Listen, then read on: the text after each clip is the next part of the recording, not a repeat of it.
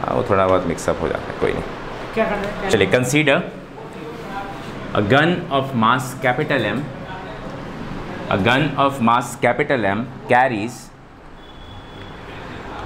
gun of mass capital M carries carries carries bullet of mass small M bullet of mass small M fired fired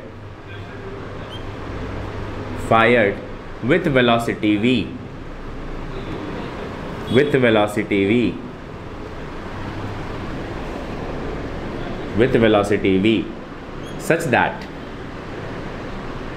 such that the gun will recoil gun will recoil with velocity u.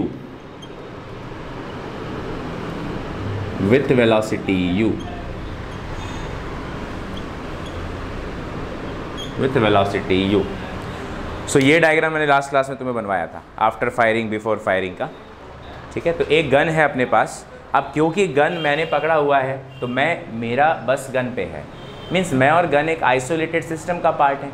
मैंने define किया था कि isolated system के अंदर momentum conserve रहता है है ना? आइसोलेटेड का मतलब है बाहर से ना कोई अंदर आ सकता है, ना अंदर से कोई बाहर। मैंने एक एग्ज़ाम्पल रूम का लिया था और दस दस रुपये सबकी जेब में से लिया था। सो नाउ बिफोर फायरिंग का जो मोमेंटम है, वो आफ्टर फायरिंग के मोमेंटम के इक्वल होना चाहिए। So momentum before firing is equal to momentum after firing correct क्योंकि ये आइसोलेटेड सिस्टम है और आइसोलेटेड सिस्टम में कंजर्व रहता है मोमेंटम चाहे बाद में कैलकुलेट करो, चाहे पहले। सो दैट्स वाई मोमेंटम का formula mass into velocity gun का मास कैपिटल एम और शुरुआत में बिफोर फायरिंग गन तो मूव कर ही नहीं रहा। तो गन की स्पीड को ज़ीरो ले लेते हैं। प्लस बुलेट का मास स्मॉल एम और बुलेट की वेलोसिटी कितनी है शुरू में? ज़ीरो बुलेट भी मूव नहीं कर रहा है। Is equal to after firing पे बात करते हैं तो गन गन का मास कैपिटल एम और गन पीछे की तरफ़ रिकॉयल हुआ है U velocity so. Mass into velocity means M into U plus after firing में जो बुलेट का है, वो स्मॉल एम इंटू में वी बात सही है? ये हो गया सारा ज़ीरो और इस साइड में आया M U plus small M V clear है इतना? मेरे को निकालना है रिकॉयलिंग वेलोसिटी यू निकालना है तो इस टर्म को इधर भेजता हूँ तो आ जाएगा minus M into V capital M U so what is U recoiling speed is minus M V upon में capital M is this relation clear कैसे आया? तो हमने इस साइड में बिफोर बिफोर फायरिंग देखा मोमेंटम ज़ीरो था। तो आफ्टर फायरिंग भी मोमेंटम ज़ीरो ही रहना चाहिए। तो मैंने इक्वेट कर दिया। और देखा कि यू जो आएगा वो minus small M into V upon में कैपिटल एम आता है। अब एक चीज़ गौर करो प्रियांशु। रिकॉइलिंग स्पीड किसके इन्वर्सली प्रोपोर्शनल है? मास ऑफ़ गन मतलब अगर मेरे, मेरा क्या मकसद रहता है कि रिकॉइलिंग ज़्यादा हो या कम हो? ऋतु कम से कम रहना चाहिए। नहीं तो पता चला दूसरा मरे, ना मरे, तुम ज़रूर मर जाओगे। चलाने वाला आदमी घायल हो जाएगा। तो चलाने वाले आदमी को रिकॉइलिंग ज़्यादा नहीं मिलनी चाहिए। दैट्स वाई हमारा मकसद है यू को मिनिमाइज करना। और यू मिनिमाइज तब होगा जब एम मैक्सिमाइज होगा। क्या? इन्वर्सली प्रोपोर्शनल इसीलिए गन का मास को बढ़ाया जाता है। गन का वज़न डेढ़ किलो, दो किलो, ढाई किलो, दस दस किलो तक रहते हैं। क्यों? क्योंकि जितना ज़्यादा वज़न रहेगा गन का, उतना ही कम उसका रिकॉइलिंग स्पीड रहेगी। Because it is inversely proportional दूसरी चीज़ देखो it is directly proportional to small M bullet के मास जितना कम रहेगा यू उतना कम रहेगा। इसीलिए बुलेट का मास पाँच ग्राम, दस ग्राम, बीस ग्राम, इतना ही रहता है। जबकि बुलेट गन का मास के में रहता है। ये भी एक कारण है। इज़ इट क्लियर उसके बाद नेगेटिव साइन ये सजेस्ट कर रहा है कि यू की जो डायरेक्शन है, वो वी की डायरेक्शन का नेगेटिव है। मतलब बुलेट आगे जा रहा है तो रिकॉयल पीछे होगा नेगेटिव डायरेक्शन में नेगेटिव साइन सजेस्ट कर रहा है कि यू का डायरेक्शन और वी का डायरेक्शन अपोजिट है। वी आगे जा रहा है तो यू नेगेटिव यानी पीछे जाएगा। That's it note down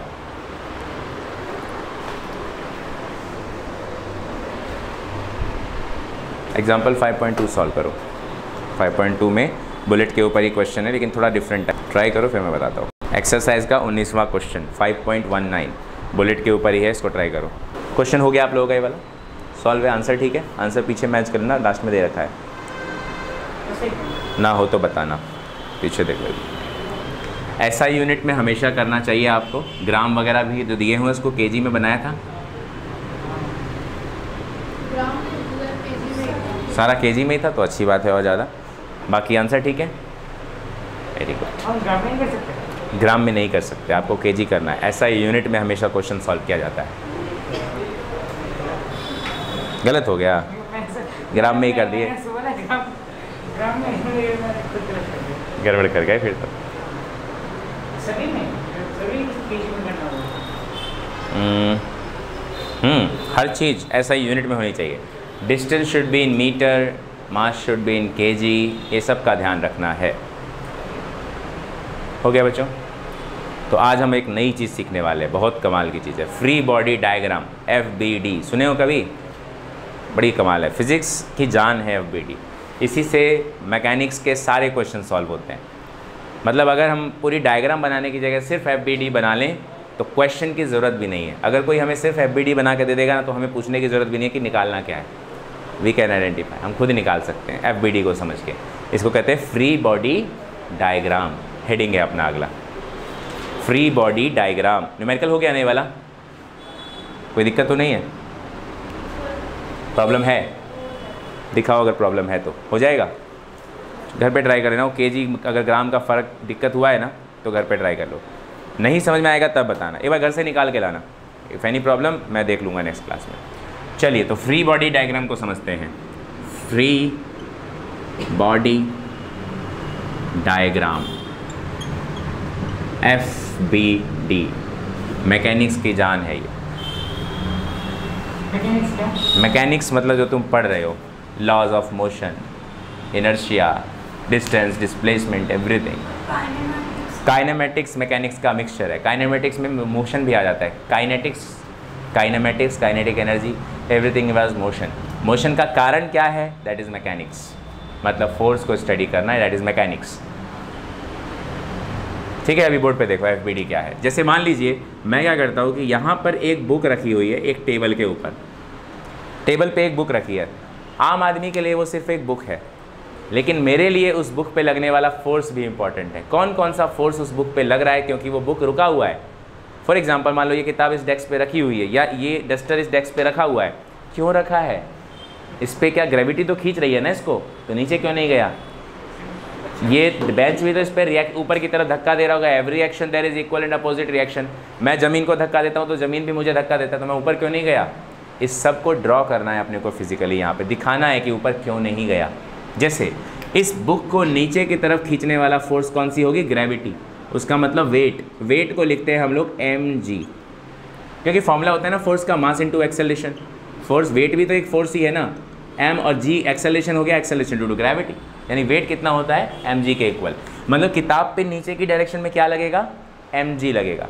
Every action there is equal and opposite reaction Newton का थर्ड लॉ मतलब इस बुक पे ये बेंच ऊपर की तरफ़ एक फोर्स लगा रहा होगा, जिसे हम लोग आर बोलेंगे. This R is called reaction force reaction force इसको कभी कभी एन से भी लिखते हैं। Normal reaction normal reaction normal मतलब 90 डिग्री ठीक है? हमेशा ध्यान रखेंगे ये दो बातें कि नॉर्मल रिएक्शन जो होता है नॉर्मल रिएक्शन हमेशा is always perpendicular to the surface ये बार बार इस चैप्टर में मैं यूज़ करूँगा कि नॉर्मल रिएक्शन यानी कि आर सरफेस पे 90 डिग्री होता है और वेट यानी कि M G weight is always perpendicular to ground ज़मीन पे परपे 90 डिग्री होता है। ये दोनों अलग अलग बातें हैं। ज़मीन और सरफेस अलग अलग चीज़ है। एग्ज़ाम्पल ये बेंच इस वक्त इस मोबाइल के लिए सरफेस है, लेकिन ज़मीन तो ये अलग है। तो सरफेस पे 90 डिग्री होता है नॉर्मल रिएक्शन और ग्राउंड पे 90 डिग्री कौन होता है? वेट इस वक्त मैंने ये दोनों बना दिया आर और एम इस वक्त क्योंकि एम और आर बराबर है, इसलिए ये बुक जो है, ये कभी मूव नहीं करेगा। तो ये डायग्राम हमें सेल्फ एक्सप्लेनेटरी है कि इस पर दो ही फोर्स लग रहे हैं। कौन कौन सी? ग्रेविटी नॉर्मल रिएक्शन वैसे एक फोर्स और लगेगा फ्रिक्शन फोर्स सरफेस और इसके बीच में दैट इज़ एफ़ और क्योंकि बुक रुका हुआ है स्टैटिक फ्रिक्शन स्टैटिक मतलब रुका हुआ। फ्रिक्शन भी हम लोग आगे पढ़ने वाले हैं, कई टाइप के होते हैं। तो कोई बुक अगर रुकी हुई है, कोई चीज़ रुकी हुई है तो कौन सा फ्रिक्शन स्टैटिक फ्रिक्शन तो ये तीन फोर्सेस इस वक्त इस पर काम कर रहे हैं। अंडरस्टैंड चलिए, एक और एक एफ़ में लेता हूँ। एक इंक्लाइंट सरफेस है ऐसा। मान लीजिए कि ये थीटा डिग्री बना रहे हो, इस पर एक ऑब्जेक्ट रखा हुआ है। अब पहली चीज़, इस पर डाउनवर्ड लगेगा फोर्स और वेट किस पे वेट होता है? 90 डिग्री पढ़ो weight is always perpendicular to ground तो ग्राउंड तो ये वाला है, ये तो सरफेस है, उस पर नाइन्टी डिग्री सरफेस उठा हुआ है ग्राउंड पे थीटा डिग्री बस समझ आ रहा है? तो 90 डिग्री आपका वेट होगा किस पे? ग्राउंड पे 90 होगा। दिस इज़ एम जी अब रही बात नॉर्मल रिएक्शन की. नॉर्मल रिएक्शन कहाँ होता है परपेंडिकुलर किस पे होता है? सरफेस पे. सरफेस तो ये है तो इस पे 90 डिग्री आपको बनाना पड़ेगा, ये नॉर्मल रिएक्शन नॉर्मल रिएक्शन होता है, तुम ज़मीन को धक्का देते हो तो ज़मीन बदले में तुम्हें भी धक्का लगाता है. तो ज़मीन जो तुम पे फोर्स लगा रहा है, वो है नॉर्मल रिएक्शन नॉर्मल मतलब 90 डिग्री रिएक्शन मतलब एक्शन रिएक्शन मतलब वो उल्टा तुम पे लगा रहा है. क्लियर मैं दोबारा समझा रहा हूँ वेट हमेशा परपेंडिकुलर ग्राउंड पे होता है, मैंने ग्राउंड पे 90 खींचा है, और रिएक्ट नॉर्मल रिएक्शन हमेशा सरफेस पे 90 होता है तो सरफेस मेरा इस वक्त ये वाला है तो इस पे 90 डिग्री ये खींचा मैंने। ठीक है, अभी ये डायग्राम मुझे बता रहा है कि ये बैलेंस नहीं हो रहे। बैलेंस तो इक्वल होता है और अपोजिट होता, ऊपर नीचे खींचता तो बैलेंस होता। लेकिन इसमें क्या, ये तो इधर खींच रहा है, इसके अपोजिट में मुझे कुछ नज़र नहीं आ रहा। वेट नीचे खींच रहा है वेट के अपोजिट में मुझे कुछ नज़र नहीं आ रहा। तो यहाँ पर आता है वैक्टर रिजोल्यूशन मैंने तुम्हें जब सिखाया था प्रोजेक्टाइल मोशन तो बताया था थीटा की तरफ़ वाला कंपोनेंट कॉस कंपोनेंट और जिधर थीटा नहीं है, उधर साइन कंपोनेंट तो आप इसके दो कंपोनेंट बनाइए, एक ऐसा एक ऐसा. इस आर के मैं कंपोनेंट बना रहा हूँ. अगर ये थीटा है बच्चे तो ये भी थीटा होगा. Alternate angle if it is theta this is 90 minus theta और ये वाला फिर से थीटा मैथ्स चल रहा है, देखो. ये 90 है, पूरा. अगर ये थीटा है तो ये बचा हुआ 90 माइनस थीटा होगा ना। पूरा 90 था तो। अब ये इधर का फिर से ये वाला 90 है पूरा। अब ये सोचो ज़रा, एक मिनट। ये वाला, ये और ये ये 90 है। अगर ये 90 माइनस थीटा तो पूरे में से ये कितना होगा? 90 में से माइनस कर दो 90 minus theta. So it is 90 minus ninety minus minus plus theta. Cut के कितना आ गया? इसलिए यहाँ पे थीटा। पूरा मैथमेटिक्स चल रहा है। मैं एक बार रिपीट कर रहा हूँ, सुनो। एक इंक्लाइंट सरफेस है उस पर एक ऑब्जेक्ट रखा हुआ है ऐसे। 90 डिग्री ग्राउंड पे हमेशा होगा। 90 डिग्री कौन? उसका वेट ये एंगल थीटा पे उठा हुआ है। सरफेस पे 90 डिग्री होगा normal reaction 90 degree on surface तो मैंने किया, मेरे को दिख रहा है कि इस एम को बैलेंस करने वाला ऊपर कोई नहीं है। इस आर को बैलेंस करने वाला नीचे कोई नहीं है अपोजिट में। इसीलिए मैंने को रिजोल्यूशन करना था। तो रिजोल्यूशन होता है हमेशा एक पैरल टू ग्राउंड और एक परपेंडिकुलर टू ऐसे। दो कंपोनेंट अगर ये थीटा है बच्चे तो ये भी थीटा होगा। क्योंकि ये पूरा 90 है तो ये बचा हुआ 90 माइनस थीटा होगा। और ये सरफेस पे ये वाला। अब इसमें हाँ हाँ 90 है ना परपेंडिकुलर ना आर। तो इधर ये थीटा तो इधर 90 माइनस थीटा। अब देखो फिर से अब ये हटाओ। यहाँ से ये 90 डिग्री है। अगर ये 90 माइनस थीटा ये कितना होगा? 90 में से 90 माइनस थीटा को घटा दो। तो ये भी थीटा बचेगा कि नहीं? इस तरीके से मैंने रिजोल्यूशन किया था। अंडरस्टैंड ये थोड़ा सा गजमच हो जाता है अगर, इसीलिए मैं डायरेक्ट एक बार फिर से बना दे रहा हूँ। बट अब तुम समझ गए ना कैसे हुआ? मैं थोड़ा सा अब साफ़ बना देता हूँ उसको। वो वाला मार्कर देना।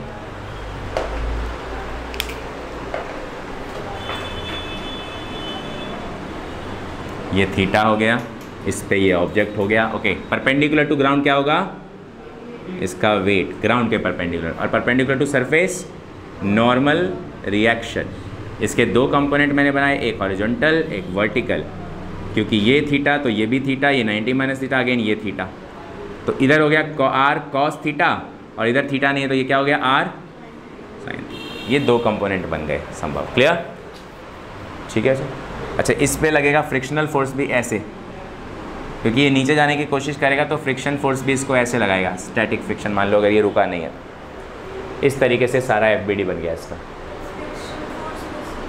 जैसे ये सरफेस अगर इंक्लाइन पे मैंने कुछ रखा तो वो ऐसे फिसल के गिरेगा ना नीचे की तरफ़। तो फ्रिक्शन हमेशा मोशन का अपोज करता है। अगर ये ऑब्जेक्ट ऐसे गिरेगा तो फ्रिक्शन पीछे लगेगा। इसलिए एफ़ को मैंने ऐसे बनाया। ग्रेविटी की वजह से वेट लगता है एमजी लगा दिया था ऑलरेडी तो ये सारे फोर्स मैंने इसके ऊपर बना दिया डायग्राम पे। इसी को एफबीडी बोलते हैं free body diagram it is self explanatory ये बताता है कि मेरे पे क्या क्या फोर्स लग रहे हैं। अंडरस्टैंड ड्रॉ दिस उसमें गए हो पहाड़ों पे? पहाड़ी साइड जाए, उत्तराखंड, शिमला, मनाली, ऐसा कोई जगह पहाड़ों साइड वैष्णो देवी, उल्टी हुआ था? किसी को हुआ था जो तुम्हारे साथ गया था? वैष्णो देवी पे ऐसा केस नहीं मिल रहा है, मुझे पता नहीं, वैष्णो देवी क्या पहाड़ ज़्यादा नहीं है क्या? मैं कभी गया नहीं हूँ वैसे तो। मनाली गए हो? उल्टियाँ हुई? हुई ना? और पेरेंट्स वगैरह को सबको? हाँ वॉमिटिंग हुई? किसी को नहीं हुई? टैबलेट भी नहीं खाए थे? पहली बार हुई थी पहली पहली बार नहीं, पहली बार देखो, एक चीज़ है, जैसे जब आप ऊंचाई पे जाते हैं हाइट पर जाते हैं तो हाइट पे ना ग्रेविटी चेंज होती है। जी की वैल्यू हाइट के साथ चेंज होती है। इसके कारण तुम्हारा वेट बदलता है। इसके कारण तुम्हारा वेट बदल जाता है। ओके ये तो चलो, सब लोग पहाड़ पे नहीं गए हैं, लेकिन क्या तुमने झूला झूला है? राम झूला होता है, वो बड़े वाला, गोल वाला। झूले हो रही तो उस वाले पे झूला है? नाव वाले पे? इस पे तो झूला है ना? ये दोनों सेम बात है। तो अब जरा आते हैं इस पर क्या होता है? तो जब तुम झूला पे, जैसे राम झूला पे ऊपर गए तो ऊपर जाने पे तुम्हारा वेट बढ़ता है। तुम्हें यकीन ना हो तो एक वेटिंग वेइंग मशीन खरीदो, उसको रखो झूला पे और उसको बोलो, चल भाई, आज एक्सपेरिमेंट करेंगे। झूले वाले को बोलो कि, तुम झुलाओ, तुम्हें मैं स्पीड बढ़ाने को बोलूँ, तब बढ़ाना, जब घटाने को बोलूँ तो घटाना। मूव करो। वो जलाएगा ऊपर, तुम देखोगे तुम्हारा वज़न अगर 50 किलो है तो तुम्हें दिखेगा वो बावन किलो हो गया। और जब वो ऊपर से नीचे आ रहा होगा जब वो ऊपर से नीचे आ रहा होगा तो तुम्हें तुम्हारा वज़न दिखाई देगा 46, 47 मतलब डिक्रीज करेगा। ऊपर से नीचे आने में घट रहा है और नीचे से ऊपर जाने में बढ़ रहा है। मतलब तुम्हारी बॉडी के साथ खिलवाड़ हो रहा है। और इस चीज़ को एक्सपीरियंस तुम्हारी बॉडी के हर सेल करते हैं। और सेल खुद तो सेल के पास दिमाग होता नहीं। तो सेल क्या करेगा? अपना सिग्नल भेजेगा ब्रेन को कि ब्रेन भैया देखो क्या हो रहा है। कुछ तो दिक्कत हो रही है। हम लोगों को सर्वाइविंग में दिक्कत आ रही है। ब्रेन बोलेगा अच्छा रुको पता करते हैं। मेरे ब्रेन के पास तो आँख है नहीं। या ब्रेन तो तुम्हें बता नहीं सकता कि मामू तुम रुक जाओ, तुम झूले पे मत झूलो अब दिक्कत हो रही है बॉडी को। वो क्या करेगा तो वो हर्ट को बोलेगा हर्ट भाई, बढ़ा दो अपनी बीट्स धड़कन बढ़ा दो ताकि ये रुक जाए, इसको डराओ बढ़िया से। तो जब तुम्हारे साथ ऐसे कंटिन्यूस वेट बढ़ना वेट घटना वेट बढ़ना वेट घटना चलता है तो तुम्हारे हर्ट बीट बढ़नी शुरू हो जाती है। इस पर तुम्हारा कंट्रोल नहीं है इट इज़ इनवॉलेंट्री एक्शन खुद ब खुद हो रहा है। क्यों हो रहा है? क्योंकि ब्रेन ने सिग्नल दिया उसको कि बॉडी के साथ कुछ खिलवाड़ हो रहा है, इसको सचेत कर दो इस आदमी को। नुकसान है, अगर कोई प्रेग्नेंट है, अगर कोई बूढ़ा है, अगर कोई बच्चा है हार्ट अटैक आ जाएगा। हार्ट अटैक आ जाएगा। वाई बिकॉज़ कि तुम्हारा हार्ट बीट इतना ज़्यादा बढ़ रहा है, तुम्हारी बॉडी उस कैपेबल नहीं है, उतने मसल्स उतने स्ट्रांग नहीं है तो खत्म हो जाएगा। मैं खुद कमज़ोर देता मैं नहीं चढ़ता कभी उस पर एक बार मैंने कहा कि चलो जरा, ये वाला में तो दिक्कत होता है, मुझको पहली बार मैं चढ़ा था बचपन में, वो बूढ़ा मेला लगता था तो वहाँ पर उसके बाद अभी गाँव गए तो दोस्त बोले लगे रहे चल, नाव पर दिक्कत नहीं होता है। मैंने कहा अच्छा ठीक है, इसमें क्या ही होगा? ये इतना ऊपर तो जाता है और फिर आ जाता है। मैंने कहा, इस पर बैठते हैं। और बैठते हैं सबसे चोटी पे नाव के पीक पे बैठेंगे। मेरे को लगा, नॉर्मल झूला है, क्या दिक्कत है? बैठा। जब ऊपर जाके जब नीचे आया ना तो मैंने शुरू किया गाली देना उसको। साला, रोक तू, रोकेगा कि पिटेगा? जैसे जैसे स्पीड बढ़ रही है, वैसे वैसे गालियाँ बढ़ रही हैं। बहुत वो सुनता नहीं, उसको लग रहा है मुझे मज़ा आ रहा है, वो और स्पीड बढ़ा रहा है। धीरे धीरे और स्पीड बढ़ गया तो बड़ा बुरा हालत हो गई थी। लेकिन उसके बाद ये चीज़ एक्सप्लेन कम, कम वो हो गया कि अगर तुम्हें करना है एक्सपेरिमेंट एक वेइंग मशीन खरीदो झूला पे सवार हो जाओ मेजर करना शुरू करो तुम्हारा वेट चेंज होता है। यही चीज़ पहाड़ों पे होता है। जब हम लोग इलेवंथ में थे ना क्लास इलेवंथ में तो मेरे स्कूल से टूर गया था। अभी तुम लोगों के स्कूल से भी टूर जाएगा। कोरोना वोरोना ख़त्म हो गया तो अब टूर स्टार्ट होगा। पाँच दिन का आउट स्टेशन टूर होता है। दिल्ली से बाहर घुमाने ले जाएँगे पाँच दिन के लिए। हम लोगों को शिमला ले गए थे मेरा स्कूल से शिमला गए थे। बताया हुआ ना पूरी क्लास उल्टी उल्टी। हाँ चाय वाली स्टोरी भी है उसमें बहुत सारी स्टोरीज थी मेरी। तो हुआ ये कि हमारी क्लास में जितने बच्चे थे सभी लोग दे उल्टी दे उल्ट, उल्टियों का मौसम शुरू हो गया था वॉमिटिंग ही वॉमिटिंग एक लड़की थी दिव्या नाम की उसने तो अगले वाले को स्नान करा दिया पूरा। गजब हो गया था एकदम बहुत। बेचारा क्या करे वो कुछ कह भी नहीं सकता क्योंकि उसने भी किया था है ना? सो so, एकदम गड़बड़ था। लेकिन मैं राम और हरीश हम तीन दोस्त हम लोगों ने टैबलेट खा रखी थी। बिकॉज़ वी नो दैट हमारी वेट के साथ खिलवाड़ होने वाला है। सो so, हमें वॉमिटिंग हो सकती है। हम तीनों ने टैबलेट खा ली थी। हम तीनों ही बस में बचे थे। इवन ड्राइवर भी उल्टी कर रहा था। सोचो ड्राइवर भी दे पिचकारी मार रहा है खिड़कियों पे। ऐसा भी हालत हो रखी है। बहुत बुरी हालात।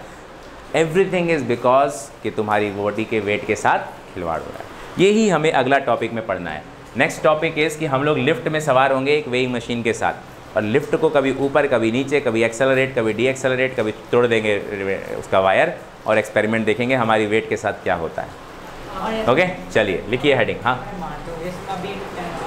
हाँ। किस चीज़ का एग्जांपल लेते हैं। इस पॉइंट पे देखो हमारे इस ग्राउंड पे मेरे वेट 60 ओके 100 मीटर ऊपर वेट डिक्रीज कर जाएगा। ये 100 मीटर ऊपर जाता और डिक्रीज करेगा। जैसे जैसे ऊपर जाओगे वेट डिक्रीज करेगा। हाँ जी। जी की वैल्यू कम होती जाती है मतलब चेंज होती जाती है बेसिकली ये समझ लो। डिक्रीज करेगा। जी की value up side decrease G की value down side decrease it is maximum only on the surface that is 9.8 अभी और जिन आप ले सर रहे हैं। जी की वैल्यू हमेशा नेगेटिव नेगेटिव कहाँ लेते हैं? जी की वैल्यू 9.8 अगर तुमने मोशन उल्टा किया है तो वेक्टर क्वांटिटी है ना एक्सेलरेशन इसलिए हम लोग साइन क्वेश्चन करने के लिए नेगेटिव लेते हैं। अगर ऊपर फेंका है तो नेगेटिव नीचे फेंका है तो पॉजिटिव नहीं नीचे के लिए भी नेगेटिव नहीं, मैंने ऐसा कभी नहीं सिखाया। तुम्हारे टीचर पक्का सिखाए होंगे। है ना? वो लोग सिखाते हैं। मैं ऐसा नहीं सिखाता। मैं बोलता हूँ it's a vector quantity it's our choice हम क्या लेना चाहते हैं? उस हिसाब से मैं क्वेश्चन कराता हूँ। तो मैं सिखाऊँगा, समझ आ जाएगा। मैं करता क्या हूँ कि ग्रेविटी नीचे खींचता है, मैं उसका अपोजिट जा रहा हूँ तो नेगेटिव ऑफकोर्स नेगेटिव और अगर ग्रेविटी नीचे खींच रहा है, मैं भी नीचे ही फेंक रहा हूँ इट्स पॉजिटिव क्योंकि हम उसी की डायरेक्शन में इस चीज़ को क्वेश्चन करेंगे ना तो हो जाता है सॉल्व चलिए आगे देखते हैं। हेडिंग है apparent weight apparent weight in an elevator. ये हेडिंग है। किसका डेफिनेशन डायग्राम हाँ ये डेफिनेशन तो है। लिख लो। एक साइड में डेफिनेशन भी लिख दो उसका। साइड में कहीं लिख लो छोटा सा। It is a diagram F B D में लिखना। It is a diagram in which it is a diagram in which it is a diagram in which all the forces in which all the forces all the forces which acts on the body all the forces which act on the body are represented are represented are represented. Full stop. This is self explanatory diagram. This is self explanatory diagram. Self explanatory diagram self explanatory diagram. Understand?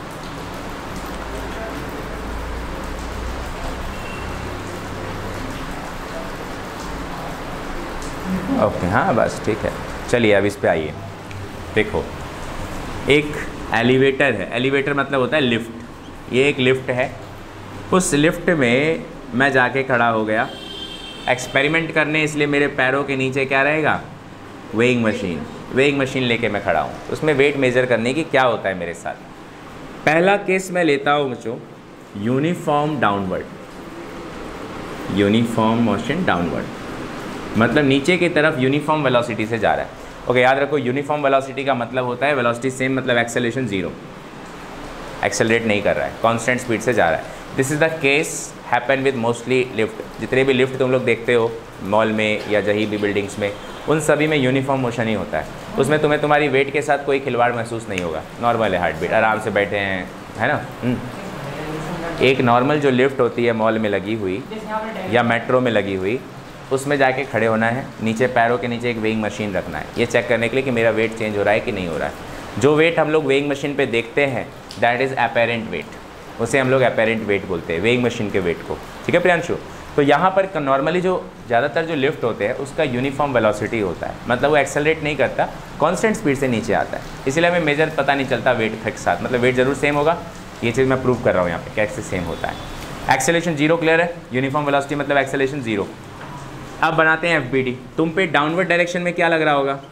Wait gravity की वजह से तुम्हारा weight M और weighing machine पे तुम, क्योंकि force लगा रहे हो वेइंग मशीन तुम पे भी फोर्स लगाएगा। व्हाट नॉर्मल रिएक्शन आर इसके अलावा और कोई फोर्स नहीं है। एक्सेलेशन ज़ीरो एक्सेलेशन का होता था स्पीड बढ़ नहीं रहा। एक्सेलेशन अगर ज़ीरो है तो स्पीड बढ़ नहीं रहा है। यूनिफॉर्म स्पीड है ना? यूनिफॉर्म डाउनवर्ड कर रहा है। यूनिफॉर्म मोशन मतलब हूँ तो लिफ्ट में आते हो ना? वो लिफ्ट में यूनिफॉर्म एक्सेलेशन ज़ीरो होती है। तो है तो खींचता है। वही लगती है ना अभी वो भी पढ़ेंगे हम लोग। वो फोर्स नहीं तुम्हारा वेट खींच रहा है तुम्हारा वेट बढ़ जाता है। प्रूफ करेंगे यहाँ पे हम लोग। चले देखिए इतना क्लियर पहला। अब जरा देखो मूव किधर कर रहा है चाहिए डाउनवर्ड मैं तुमसे एक चीज़ पूछता हूँ अगर एक पाँच पाँच किलो का एक बॉक्स है उस पर मैं इधर से दस न्यूटन से फोर्स लगा रहा हूँ और प्रियांशु तुम इधर से आठ न्यूटन का फोर्स लगा रहे हो टेल में ये बॉक्स किधर जाएगा? मेरे फोर्स की तरफ़ जाएगा इधर। कितने कितने की वैल्यू से? Two newton. क्योंकि कैसे पता? टेन माइनस एट किया तुमने। बड़ा फोर्स माइनस छोटा फोर्स किया। तब जाके क्या मिला? नेट फोर्स मिला। करेक्ट है? यही कॉन्सेप्ट यहाँ लगाओ। क्योंकि मोशन जिधर जाता है डेफिनेटली वो फोर्स बड़ा है। मैं बड़ा फोर्स एमजी को मान लेता हूँ। तो बड़ा फोर्स एमजी माइनस छोटा फोर्स कौन? आर बड़ा फोर्स माइनस छोटा फोर्स बराबर नेट फोर्स अब net force according to second law of motion mass into acceleration होता है। करेक्ट है? F equal to M A Newton का सेकेंड लॉ तो एम जी माइनस आर बराबर है M A now according to this question it is uniform downward acceleration zero है। Means we can put here zero so M G minus R बराबर zero so what is R R बराबर M G M G जो है, ये है actual wait और R जो है it is called apparent weight मतलब इस पहले डेरिवेशन से मुझे ये पता चला कि जब लिफ्ट यूनिफॉर्म जाता है डाउनवर्ड तो अपेरेंट वेट किसके इक्वल होता है? एक्चुअल वेट के। मतलब तुम्हारे वेट के साथ कोई दिक्कत नहीं है तुम्हारा वेट कांस्टेंट ही चलेगा अगर यूनिफॉर्मली आता है। हम्म?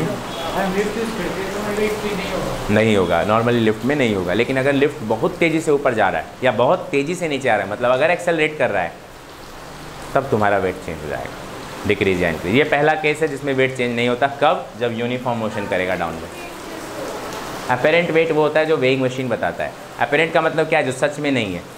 वो तुम्हारा इस प्लेनेट पे, मान लीजिए मेरा वेट इस प्लेनेट पे 100 किलो है, लेकिन चाँद पे तो जाके वन सिक्स हो जाता है ना? ये तो पड़ा है ना? अगर मेरा यहाँ 10 किलो है, वहाँ लाइक 6 किलो हो गया।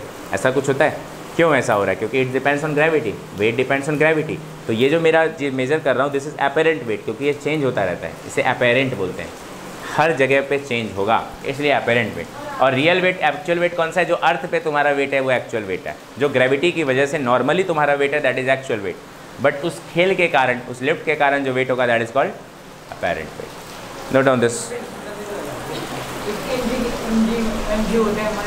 gravity जो डाउनवर्ड लगाता है वो तुम्हारा फोर्स हो गया। ग्रेविटी का फोर्स हो गया मास इंटू एक्सेलरेशन मास तो एम है लेकिन एक्सेलरेशन ग्रेविटी का जी होता है इसलिए एम जी लगाते हैं। That is weight it is weight R normal reaction जो ज़मीन तुम पे लगाएगा।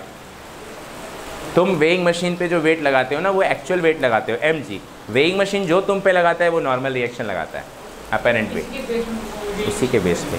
वेइंग मशीन हमेशा अपेरेंट वेट मेजर करता हैं। जो इस वक्त तुम्हारे इस प्लेनेट पे है। फॉर एग्जांपल यहाँ पे जो डिराइव किया वो minus R equal to F net फिर F net net force mass into acceleration जो नेट लगेगा इस पे। और मैंने नेट इस पे देखा कि कोई फोर्स ही नहीं लगेगा क्योंकि एक्सेलरेशन तो ज़ीरो ही हो गया। है। उतारिए इसको। है ना मज़ेदार टॉपिक अभी देखते हैं वेट बढ़ाते हैं और घटाते हैं अपना। फॉर्मूला कौन सा? मास का? मास तो वैल्यू है एम कोई फॉर्मूला नहीं है। इसके लिए आइंस्टाइन ने एक रिलेशन दिया था, लेकिन अपने सिलेबस में नहीं है। M equal to M naught under the root one minus V square by C square according to Einstein mass ऐसा ऐसा होता है। वेलोसिटी के साथ चेंज करता है। बट इसकी ज़रूरत नहीं है अभी। कॉलेज में देखेंगे ग्रेजुएशन का और इंक्रीज हो गया और इंक्रीज हो गया कौन सी फिज़िक्स कॉलेज बहुत अप्लाइड फिज़िक्स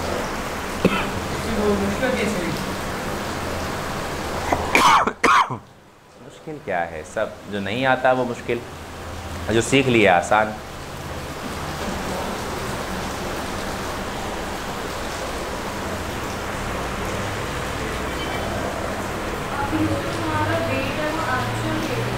इस वक्त नॉर्मल केस में एक्चुअल है।